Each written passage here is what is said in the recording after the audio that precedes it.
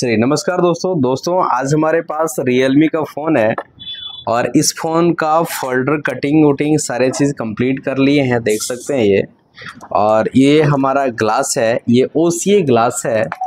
तो हम लोग कैसे पंचिंग करेंगे, वो सारे चीज़ों के बारे में बताएँगे। ये ओ ग्लास है और ये डिस्प्ले है। और अभी इसमें बताएँगे एक चीज़ें और। ये अपना वीवो का फ़ोन है, ये वाले। और इसका भी अपने पास में, इसका भी अपने पास में फोल्डर कटिंग किया हुआ है, नज़दीक थोड़ा लाएँगे और इधर अपना टच है। तो इसमें अंतर क्या है? देखो, ये तो टच है और ये ग्लास है। तो ये ग्लास है और ये टच है, और इसमें ये ग्लास जो है, वो ओसी ग्लास है। इसको पंचिंग करने के लिए हमें एक्स्ट्रा ओसी इसमें नहीं देना पड़ेगा। और ये जो है, वो सिर्फ़ ग्लास है। इसको डिस्प्ले में पंचिंग करने के लिए हमें ओसीए पेपर का यूज़ करना पड़ेगा।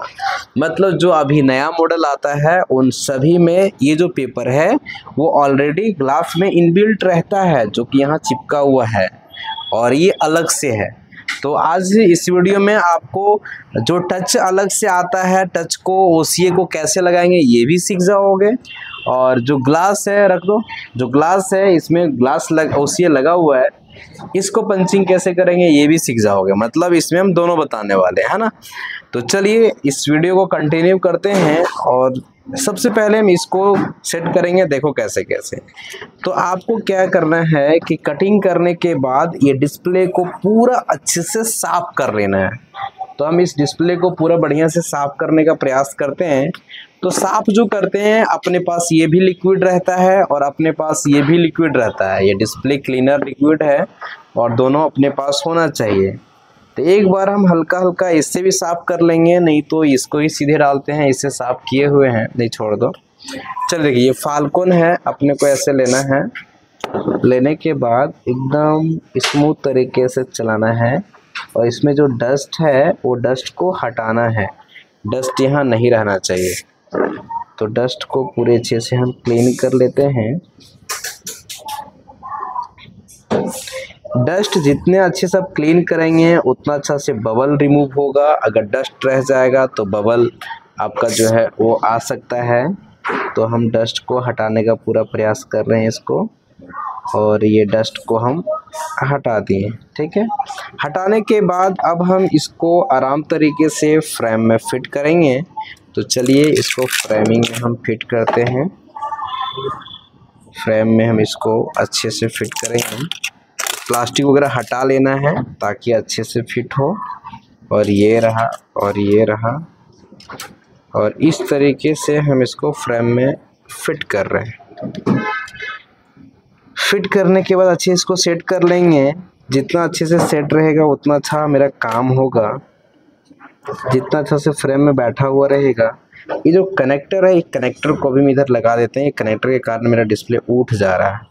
तो चलो इसको हम यहाँ पे भाई साहब को सेट कर दिए और इस प्रकार से और इसको हम अच्छे से बैठाने का प्रयास कर रहे हैं।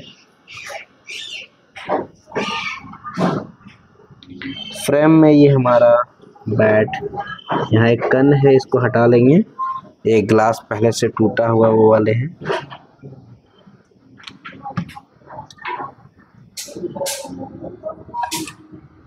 ये डिस्टर्ब करेगा अपने को। इस तरह से निकाल देना है।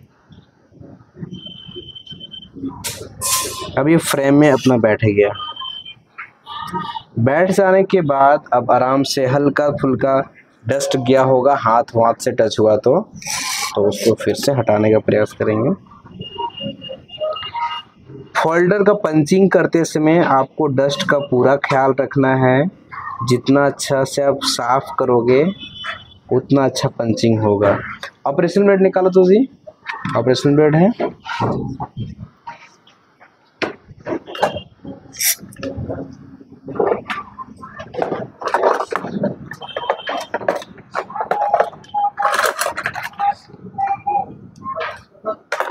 चलिए। अब देखिए, ये जो ग्लास है ना इस ग्लास में ऑलरेडी ओसीए पेपर लगा हुआ है, इसीलिए हम एक्स्ट्रा ओसीए पेपर का यूज़ नहीं करेंगे।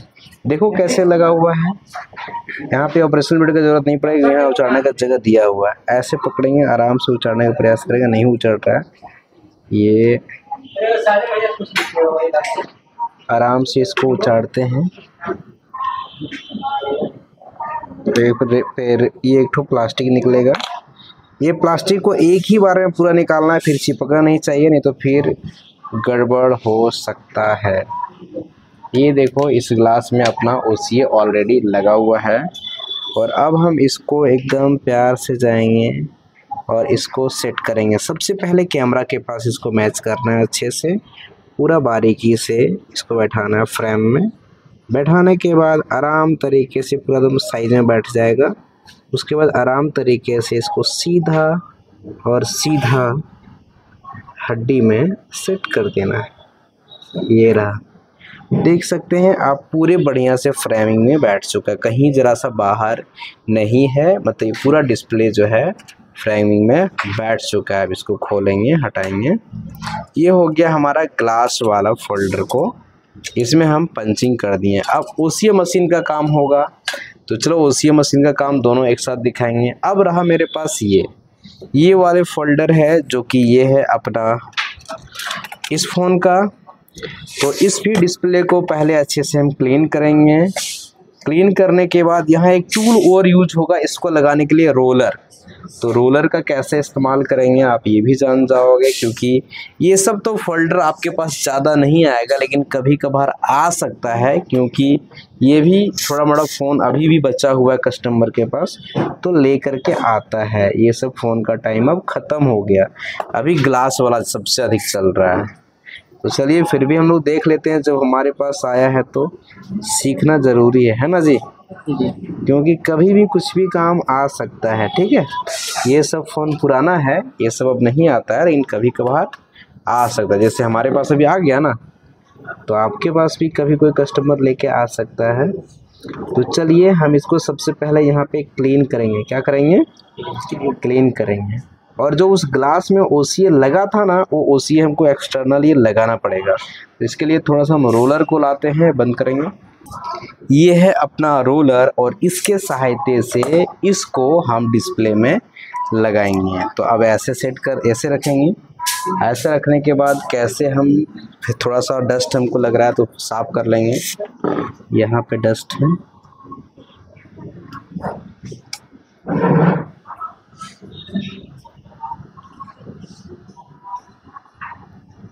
डस्ट को साफ़ कर लिए। साफ़ करने के बाद ये देखो ओसीए है। ओसीए में थ्री लेयर रहता है। तुम ओसीए का जो है, ये वाला एक लेयर हटा दिए। हटाने के बाद अब लास्ट वाला लेयर है। भाई सब डस्ट उड़ता है।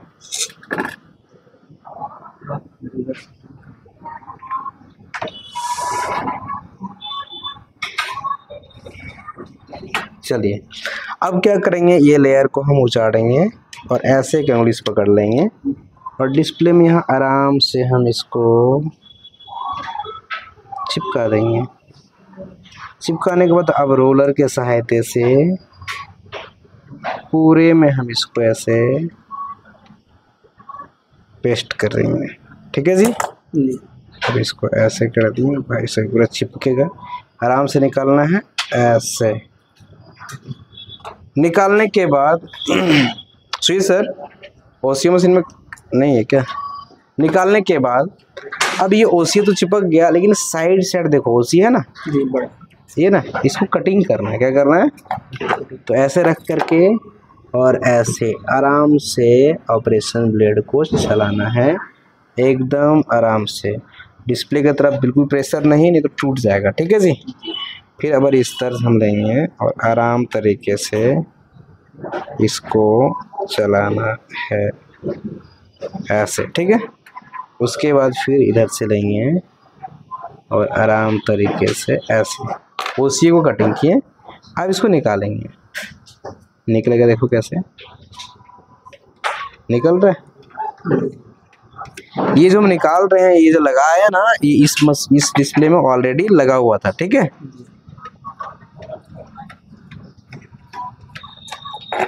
इस तरीके से आपको वेस्टेज निकाल देना है।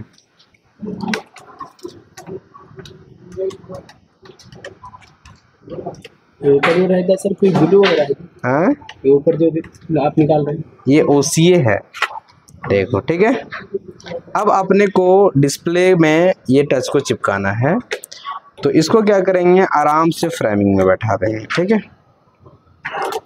इसको हटा देते हैं। डिस्टर्ब करेगा ये। चलो निकलो। और ये जो डिस्प्ले लगेगा भाई साहब वो ऐसे लगेगा यहाँ पे। ऐसे लगेगा और ऐसे ठीक है? ऐसे लगेगा। अब ये अपने टच है क्या है? टच टच है। टच में भी इधर प्लास्टिक चिपका हुआ है वो प्लास्टिक को उचाड़ना है। इधर प्लास्टिक चिपका हुआ है अपना।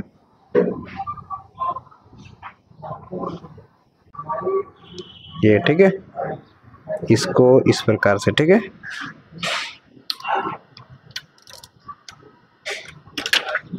ये निकल गया। उसके बाद अब ये जो ओसीए है ना, इसके ऊपर प्लास्टिक, इसको कैसे निकालोगे? इसको डिस्प्ले को ऐसे दबाओगे, कहीं ऐसे दबाएँगे डिस्प्ले टूट जाएगा, ठीक है? ऐसे दबाएँ और यहाँ पे पकड़ेंगे और ये भाई साहब को अब जो बीच वाला मटेरियल रहा, वो वहाँ चिपका हुआ रह गया। समझ में आया कि नहीं?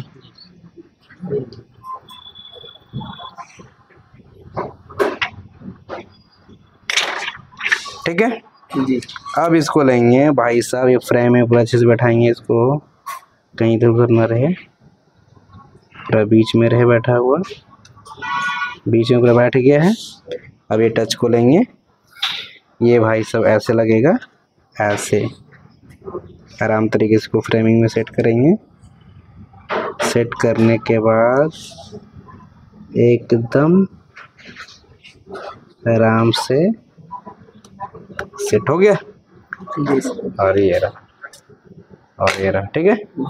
अब मेरा ये दोनों जो है हाथ से पंचिंग कर दिए। अब मशीन में डालेंगे क्या करेंगे? Machine machine. मशीन में डालेंगे। चलो चलते हैं अब आगे मशीन के पास कैसे कैसे करेंगे। इन दोनों को पूरा बताते हैं रोकिए। चलिए, अपने ये पंचिंग मशीन है, इसमें भी करंट दे दिए, इसमें भी करंट दे दिए और इधर देखेंगे जो कंप्रेसर एयर बनाता है और ये सारे मशीन एक साथ चलना चाहिए, ठीक है? सारे का हम पावर यहाँ से सप्लाई कर दिए, ठीक ना? मशीन को चालू कैसे करेंगे? तो ये एयर टंकी है, इसको यहाँ पे खोलना है ऐसे एयर खोल दिए। एयर बनेगा तो इसको खोलेंगे। इस मशीन को चालू करेंगे तो हमारा सारा चालू होगा। अब हम इस मशीन में अपने अंदर में सबसे पहले ये वाले जो फोल्डर है, इसको पंचिंग के लिए डालते हैं। तो पंचिंग के लिए डालेंगे उसमें आप पत्ता को आराम तरीके से कैसे कैसे सेट करेंगे, वो सारा चीज़ देखिए। इस तरीके से रखेंगे हम, और इसको हम ऐसे भी रख सकते हैं, ठीक है? और इसको ऐसे। और ये रहा, इस तरीके से हम यहाँ पे डाल देंगे। ये रहा। डालने के बाद इसको लॉक कर देंगे। लॉक करने के बाद कुछ नहीं करना, सारा सेट रहता है स्टार्ट बटन पे क्लिक करना है। चालीस सेकेंड लिखा हुआ है, चालीस सेकेंड होगा, वो पंचिंग कर देगा। देखो, ये हो रहा है सेकेंड। एयर देखो, यहाँ पे ले रहा है, वहाँ से एयर ले रहा है, ठीक है? अब 40 सेकेंड जैसे होगा, वैसे ये डिस्प्ले को दबा देगा, पंच कर देगा।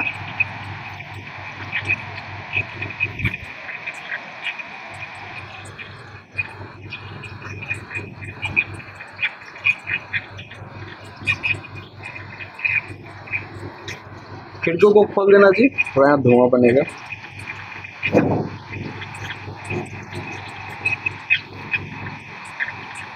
अब हमारा 40 सेकंड होने वाला है। हमारा डिस्प्ले को पंच करेगा, दबाएगा। देखो, दबा रहा है ये। और ये हमारा दब चुका है। अब ये है, ये 25 सेकंड जैसे होगा, वैसे उठ जाएगा। मतलब इस मशीन का काम खत्म हो जाएगा।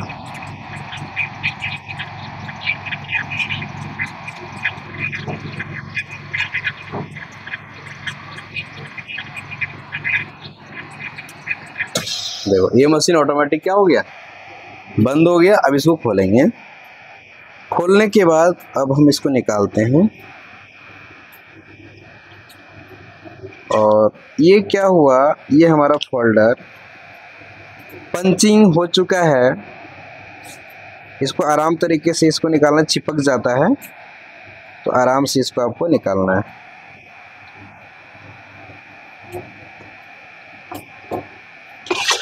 जब पंचिंग हुआ तो देखो ये इस प्रकार का दिख रहा है। अब जो ये बबल वगैरह दिख रहा है, इसको निकालना है। निकालने के लिए अब यूज़ करेंगे हम लोग इस मशीन को। इस मशीन को ऐसे करेंगे। यहाँ सात मिनट सेट है तो तीन चार मिनट होगा, हम निकाल देंगे। यहाँ पे रख दिए और मशीन को बंद कर दिए। इसको ऑन करेंगे, बस इस पर प्रेस करेंगे ऑन हो गया। मतलब बबल को हटाएगा। अब ये मशीन ये फोल्डर है, इसमें देख सकते हैं बबल किस प्रकार का है। इसको हमें पंचिंग करना है और बबल को हटाना है। पहले पंचिंग करेंगे तो सेम प्रोसेस जैसे उसको रखें, इस गद्दे पे इसको ऐसे रखेंगे, रखने के बाद ऐसे सीधा डाल देंगे, डालने के बाद डाल देंगे। इसको बंद करेंगे, फिर मशीन को स्टार्ट करेंगे। अब ये हमारा पंचिंग करेगा और ये हमारा बबल को रिमूव करेगा, ठीक है जी? दोनों मशीन में मेरा दोनों काम स्टार्ट है। ये एयर ले लिया, फिर 40 सेकंड है फिर से दबाएगा, फिर 40 25 सेकंड होगा तो फिर छोड़ देगा। और ये सात मिनट यहाँ लिखा हुआ, ये देखना घटेगा, नीचे जाएगा। अब इधर देखो, अब ये अपना पंचिंग होगा, फिर ये डिस्प्ले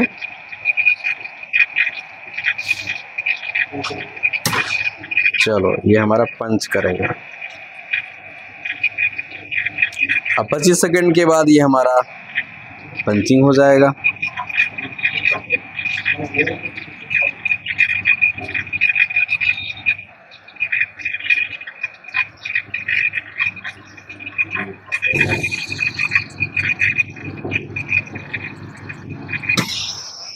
ये मशीन का काम हमारा ख़त्म हो गया।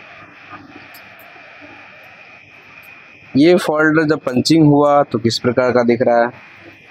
देख सकते हैं, यहाँ यहाँ बबल दिख रहा है ना? अब इसको हम ओसी को, ये इसको बबल को रिमूव मशीन में डालेंगे और निकालेंगे। फिर देखेंगे किस तरह से फिनिशिंग हुआ। ये मशीन का काम ख़त्म। अब ये फोल्डर जो डाले हैं, उसको निकालेंगे, उसके बाद फिर इस फोल्डर को डालेंगे। बंद कीजिए। अब इसको निकाल करके देखते हैं, इसका क्या प्रोसेस है। इस बटन से फिर से बंद करेंगे।